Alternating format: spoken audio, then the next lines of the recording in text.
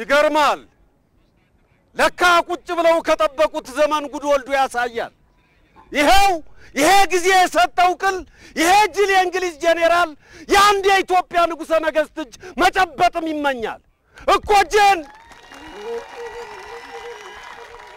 የኔን ይሄን እጄን ስንት ጀግና እንደ ቆሎ በፍኙ ይዞ የኖረውን ምን ያድርገው? ስሜን እንጂ በሩቁ እንግሊዝ እጄን አያውቀው። እውነት አለው። እንኳን እንደኔ ያለ ልዑል እግዚአብሔር የመረጠው የሀገር ፍቅርና አደራ ጸጋ ቀብቶ የሰጠው እንደ ዳዊት ከትቢያ አንስቶ ከወርቅ ዙፋን ያስቀመጠው ለነ ካሌብ መንበርና ለዘውድ ክብር ያበቃው አንድ ንጉሥ ይቅርና ካበሻ ደም መቀዳቱ ደመ ነፍሱ ለምትነግረው ገና ለአንድ ፍሬ ጨቅላ እንኳ እጅ መስጠት ማለት ሞት ነው።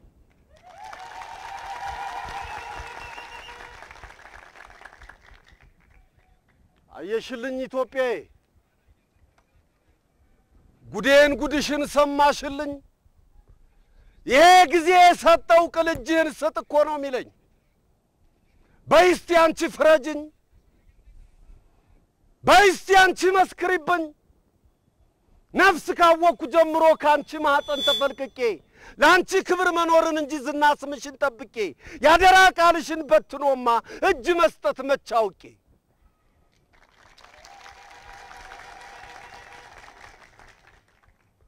ሀገሬ ዛሬ ምመኝኝ፣ አሁንም ቃልሽን ጨብጫለሁ። ስጥ በተባልኩት እጄ ያንቺም ክብር እንዳላውቃለሁ። ስለ አንቺ ስለፋ እንደኖርኩ ዛሬም ስለ አንቺ አልፋለሁ። ሞቶ በክብር መኖርን ለእንግሊዝ አሳየዋለሁ። ከቶም አጠርጥሪኝ። ምን ፈተናዬን ብታበዥው ኢትዮጵያ እወድሻለሁ። ይኸው ይኸው አሁን እንኳ መቅደላ አፋፍ ከሞት ደጃፍ ቆሜ እያለሁ ክርስቶስ ምስክሬ ነው፣ ኢትዮጵያዊ ያፈቅርሻለሁ።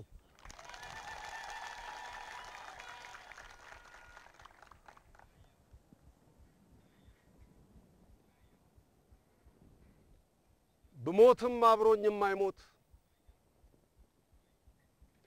ባልፍም አብሮኝ የማያልፍ ከሥጋዬ ጋር የማይረግፍ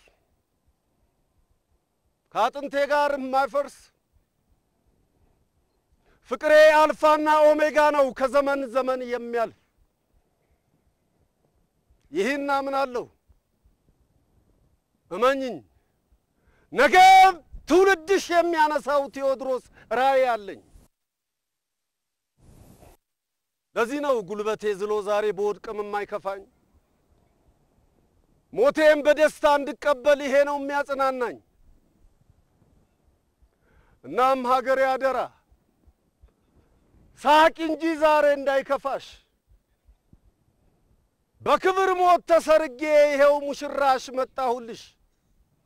እልል እያልሽ ተቀበይኝ ኢትዮጵያዬ፣ ደስ ይበልሽ።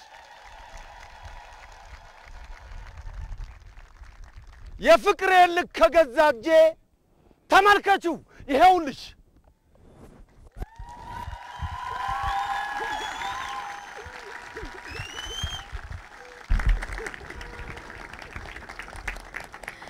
በጣም እናመሰግናለን። ወይዘሮ አበበች እያለቀሱ ነው። እስኪ ወደዛ ልውሰዶት።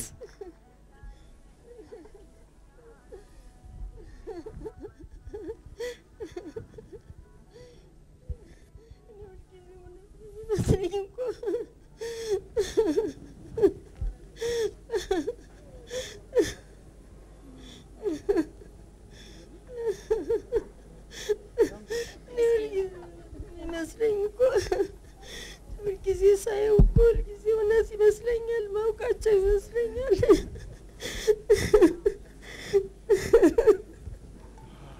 ያሳዝንኛል። እኔ በጣም ነው የሚያሳዝነኝ፣ በጣም ያሳዝነኛል።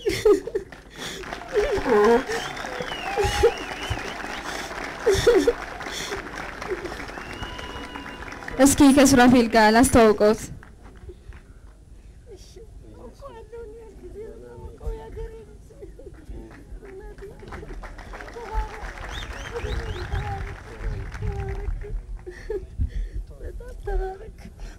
ደህና ነዎት? እንኳን አብሮ አደረሰን። እስቲ አንድ ጊዜ ሞቅ ያለ ጭብጨባ ለሳቸው።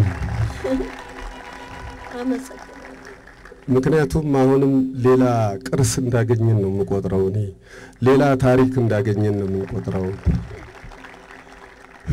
በዚህ ዘመን የአፄ ቴዎድሮስ ሶስተኛ ትውልድ መገኘቱ በእውነት በጣም ደስ የሚል ነገር ነው። እኛም ክብር ልንሰጣቸው ይገባል። ክብር መስጠት ብቻ ሳይሆን መንከባከብም ያስፈልጋል። በእውነት እ፣ የቴዎድሮስ ራዕያቸው የምናስፈጽም ከሆነ እነዚህንም መንከባከብ አለብን። በመደገፍ ካሉበት ኑሮ የተሻለ ኑሮ እንዲኖሩ መንግስት መሰራት አለበት። የክልሉ ይሄ ጉዳይ የሚመለከተው ሰዎችን ያሉበትን ሁኔታ አውቆ መደገፍ ያስፈልጋል። ነገ እነዚህ ራሳቸው የቱሪዝም ገቢ ያመጣሉ። ለዚህ ደግሞ እነሱን ያሉበትን ሁኔታ አውቆ መንከባከብ፣ የጎደላቸውን ነገር መሙላት ያስፈልጋል። ካሉበት ቦታ ቱሪስት ጎርፎ ይሄዳል፣ እርግጠኛ ነኝ ይህን ታሪክ ለማወቅ። ስለዚህ መንከባከብ ያስፈልጋል። አሁንም ሞቅ ያለ ጭብጨባ ለነሱ ያስፈልጋል።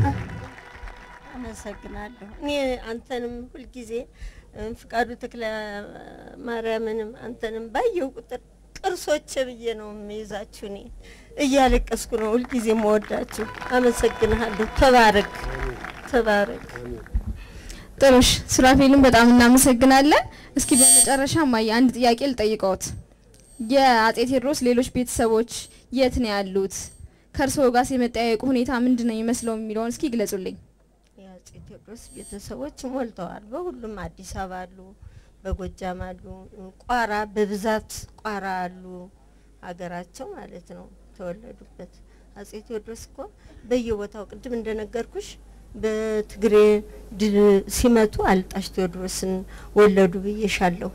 እንደገና ደግሞ በወገራ አለማየሁ ቴዎድሮስን፣ በጎንደር ራስ መሸሻ ቴዎድሮስን፣ በጎጃም ኃይሉ ቴዎድሮስን ደጃዝማች ኃይሉ ቴዎድሮስን በወሎ ይማም ቴዎድሮስን እንደዚሁም በሸዋም በወለጋም በዚያም ወልደዋል ይባላል። እነዚህም በእውቅ ም፣ አባቴ የነገሩኝና እየመጡ አባቴን እየጠይቁ የነበሩ ናቸው። አሁን ስማቸውን የጠራሁልሽ ዘራቸው ብዙ ነው። የአጼ ቴዎድሮስ ድል በመቱበት ቁጥር ወልደዋል። ድል እየመቱ ድል እየመቱ እየወለዱ ድል እየመቱ እየወለዱ ነው የመጡ በድፍን ኢትዮጵያ ማለት ይቻላል።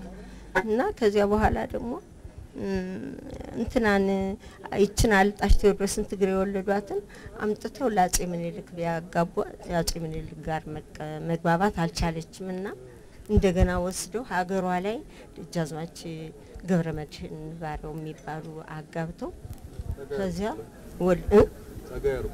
እሺ እሺ እና እዚያ እነ ደጃዝማች ኃይለ ሥላሴ ገብረ መድህን፣ ደጃዝማች አለም ሰገድ፣ ፊታውራሪ በዛብህ፣ ፊታውራሪ ጌታውን ነው እንደዚህ የሚባሉ ሰውዬ አድርገው ወልደዋል ከትግሬ ማለት ነው። በጎጃም ደግሞ እንደዚሁ የተወለዱ አሉ።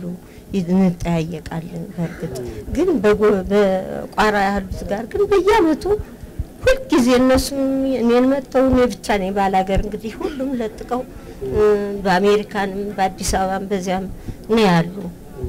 አንዷ የእህቴ ልጅ አሁን የፕሮፌሰር ጸሐፊ ሁና ጥቁር አንበሳ ወደ ሀያ አመት አገልግላለች። እንደገና ደክሞኛል ስትል ደግሞ ዩኒቨርሲቲው ራሱ ተቀብሏት አሁንም እየሰራች ትገኛለች። ወይዘሮ ፈንታዬ ታከለ ትባላለች። አዎ በጣም ጥሩ። እሺ እናመሰግናለን። በክብር ባካችሁ እንደተቀበላችሁ ሸኙልን። በክብር እናመሰግናለን በጣም አመሰግናለሁ።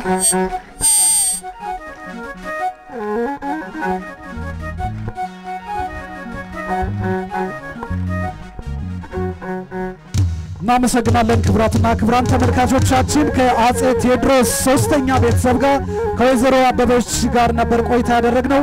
አርቲስት ሱራፌል ተካ ከአዲስ አበባ ለዚህ ፕሮግራም ስንጠይቀው